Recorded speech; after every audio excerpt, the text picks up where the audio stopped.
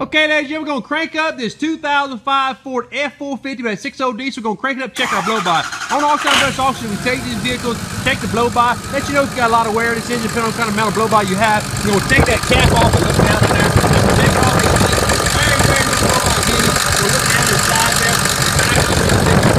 Once get blow-by comes from the truck, It's got 179,000 miles, but this crank, it does run, it does drive, and very little blow-by. That means someone's taking time to take care of this engine, do it up, service it up right. The truck cranks, it runs, it drives, it is supposed to do. On time, it's also going to find this piece, going to be south, Louisiana, about. Thank you.